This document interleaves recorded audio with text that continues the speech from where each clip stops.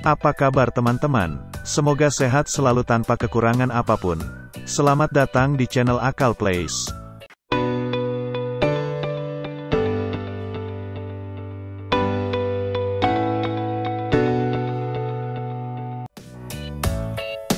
Sesuai video aku sebelumnya tes dan review dongle jailbreak rakitan sendiri. Nah, di video kali ini, aku akan bikin tutorial step by step merakit dongle auto jailbreak atau biasa juga disebut auto mount flash disk. Kita akan merakit dongle ini tentunya tanpa menggunakan solder. Sebelum lanjut, seperti biasa bagi kalian yang belum subscribe, mohon subscribe dan like-nya. Kali ini sudah ada peningkatan dari 5% menjadi 6% penonton yang sudah subscribe channel ini. Untuk itu terima kasih, dukungan kalian sangat membantu aku untuk terus semangat membuat tutorial lainnya. Sedikit aku jelaskan lagi bagi yang belum tahu, dongel auto jailbreak ini gunanya untuk mengaktifkan jailbreak hand, tanpa perlu lagi colok dan cabut flash disk.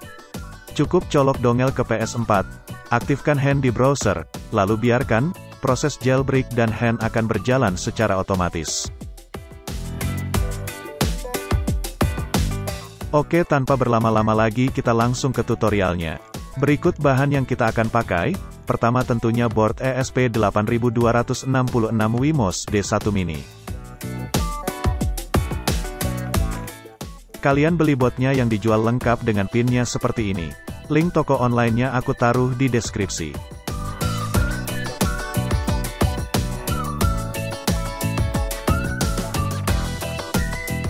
Pin model ini kalian pasang ke botnya, di sisi kiri dan kanan.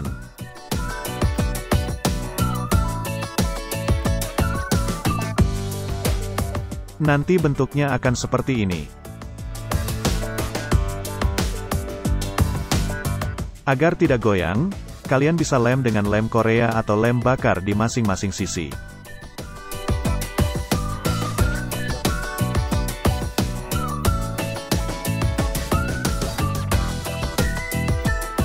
Selanjutnya dua buah resistor ukuran 1 kilo ohm. Kemudian satu transistor BC548.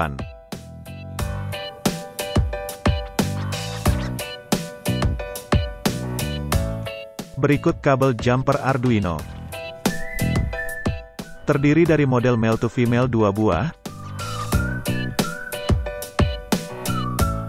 Female to female satu buah.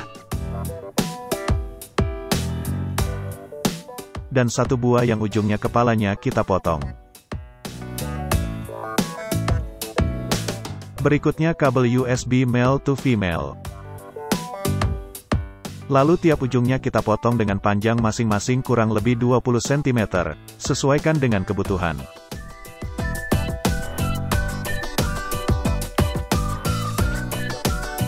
Terakhir, lakban hitam atau isolasi bakar. Oke, sekarang kita ke cara merakit semua bahan tadi. Di sini aku perlihatkan dulu skema yang akan dipakai. Ini adalah skema buatan Stuget. Jangan khawatir untuk kalian yang tidak mengerti baca skema seperti ini. Aku sudah buatkan bentuk skema lain yang mudah diikuti oleh orang awam sekalipun. Ini skema yang sudah aku modifikasi. Penjelasannya sangat simpel. Intinya di sini kita menghubungkan ujung yang mempunyai nomor yang sama, dimulai dari nomor urut terkecil.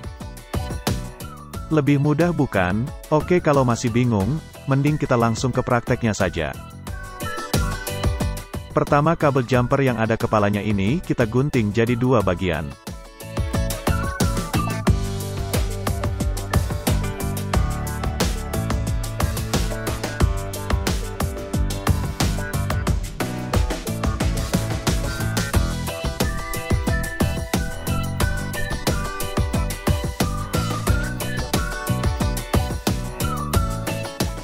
Lalu semua ujung kabel kita kupas, termasuk kabel USB yang sudah kita potong sebelumnya.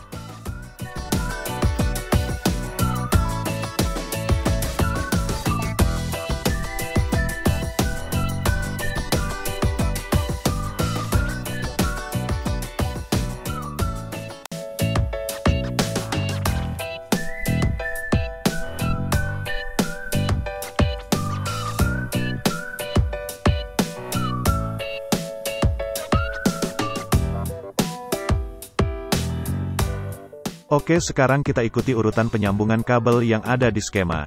Lebih dulu kita sambungkan jalur data kabel USB yaitu kabel warna hijau dan putih.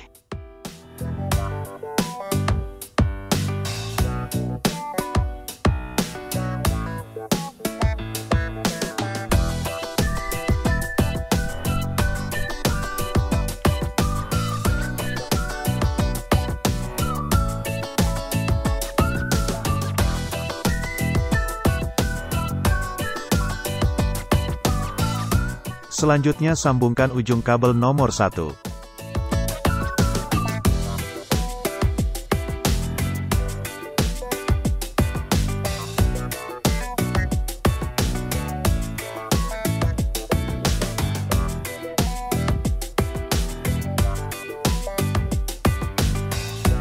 Lanjut ujung kabel nomor 2.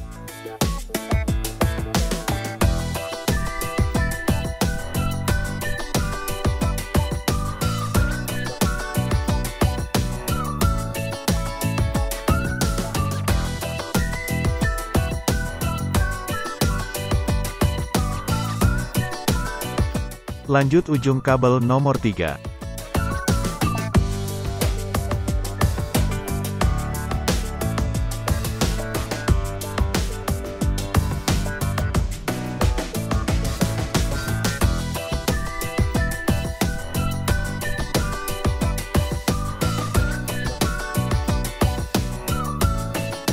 Lanjut ujung kabel nomor 4 dan 2 resistor.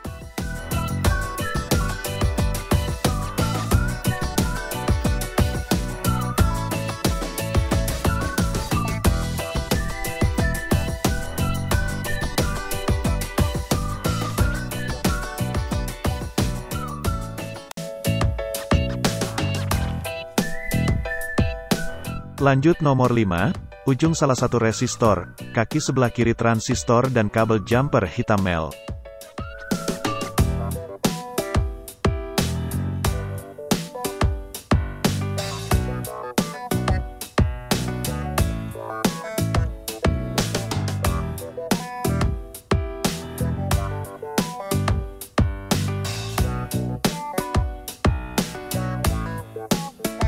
Lanjut nomor 6, ujung salah satu resistor dan kaki tengah transistor.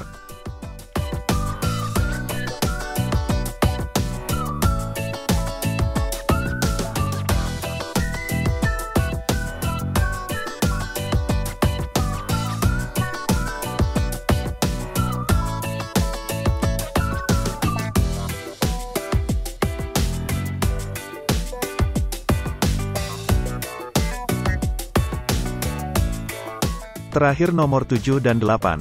Kaki transistor sebelah kanan, kabel ungu, dan kabel hitam USB sebelah female.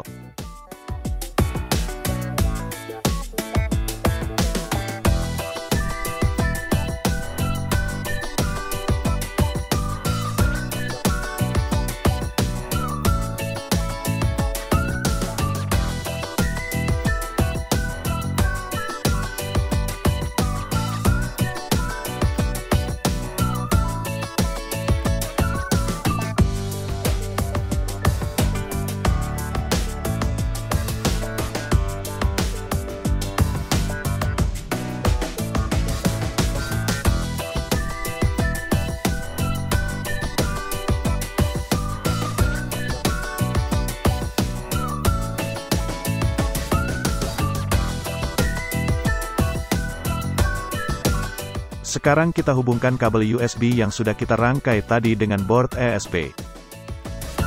Sebelumnya aku perlihatkan dulu board ESP yang sudah aku pasang pin dan diberi lem bakar. Bentuknya jadi seperti ini.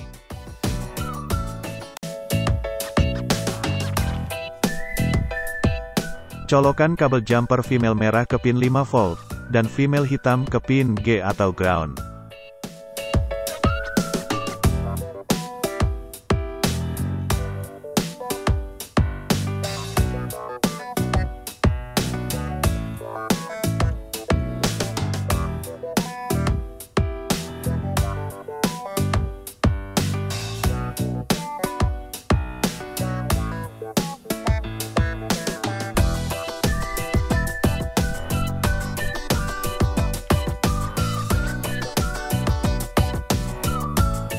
Selanjutnya, kabel jumper mel merah kita colok juga di pin 5 volt, di sebelah bawah board.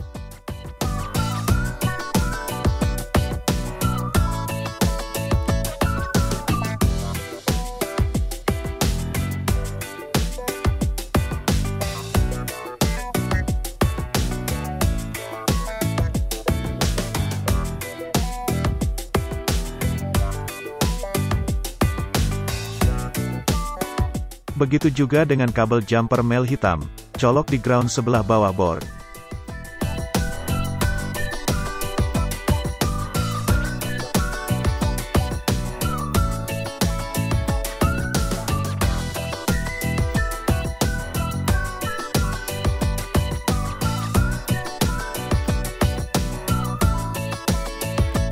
Terakhir kabel female abu-abu, kita colok di pin D7.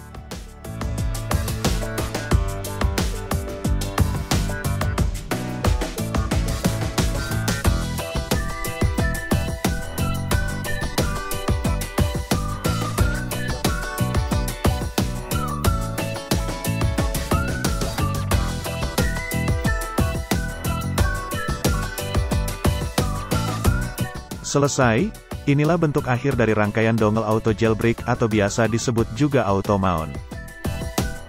Mudah-mudahan kalian bisa ikuti step by step yang aku sudah jelaskan dalam video ini.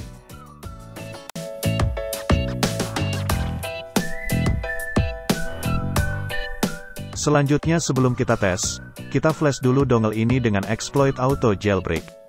Sama dengan di video sebelumnya, pertama kita siapkan dulu file bin exploit. Misalnya kita pakai exploit auto jailbreak punya Makedo. Nanti akan kita coba juga punya Karo. Pertama kita flash dulu dengan host exploit auto jailbreak punya Makedo. Di sini aku sudah download file binnya. Untuk cara flashnya gampang. Pertama, hubungkan dulu dongle ke komputer.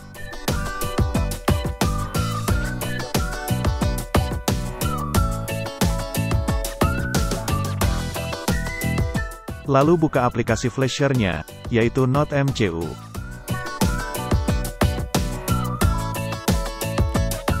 Pilih serial port, di sini otomatis akan terisi dengan port ESP, jika kita sudah install drivernya. Setelah itu buka file bin host exploit yang sudah kita download tadi.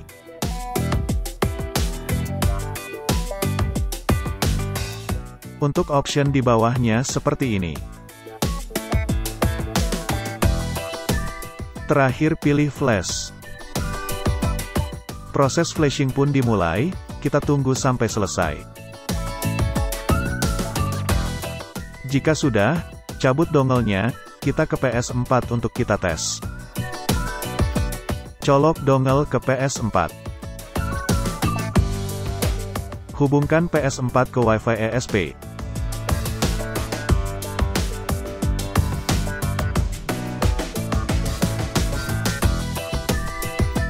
Untuk exploit Makedo, nama Wi-Fi-nya PS4 Auto JB, passwordnya Akal Place.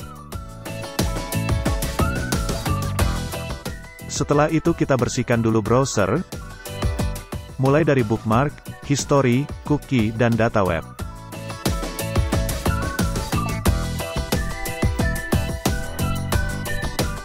Kalau sudah, kita langsung ke proses auto jailbreaknya. Bisa lewat browser atau bisa juga di menu User Guide. Kali ini kita akan coba lewat User Guide.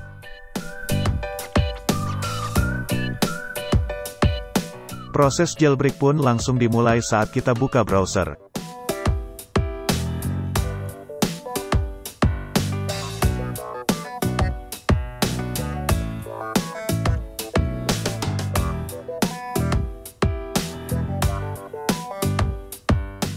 Dan hand pun berhasil diaktifkan. Sekarang kita coba dengan exploit auto jailbreak Karo. Tentu pertama flash dulu ESP dengan file bin exploit Karo. Colok dongle ke PS4. Bersihkan browser.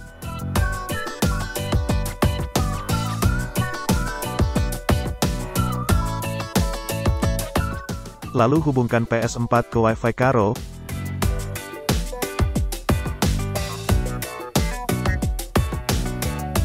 password 1-8.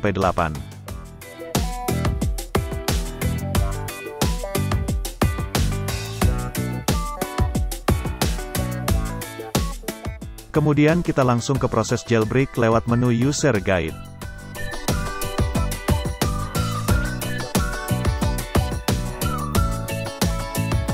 Kita tunggu proses cache sampai selesai. Karena di sini aku menggunakan exploit auto jailbreak Karo versi lengkap dengan payload lain.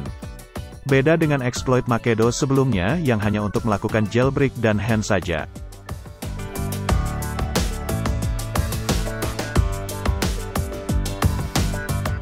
Jika sudah, tutup dan buka kembali web user guide untuk melanjutkan proses jailbreak dan hand.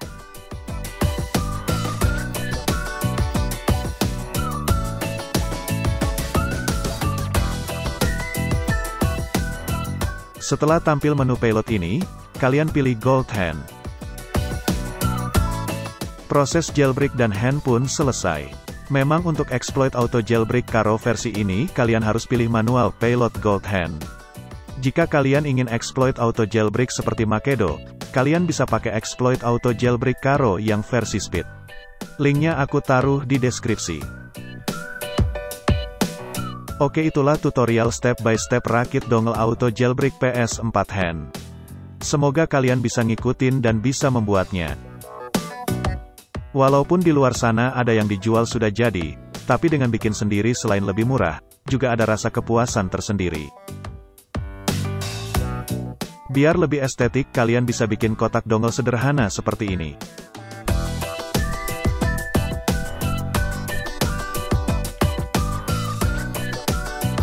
Oke aku akhiri tutorial sampai di sini. Kalau ada yang belum jelas, silahkan tulis pertanyaan di kolom komentar supaya aku bisa bantu. Dan juga jika kalian punya saran ide untuk konten PS4 hand berikutnya silahkan tulis juga di kolom komentar. Kalau tutorial ini berguna untuk kalian, Jangan lupa like dan subscribe-nya dan share juga ke teman-teman kalian yang butuh tutorial seperti ini. Sampai jumpa lagi di video tutorial lainnya, terima kasih.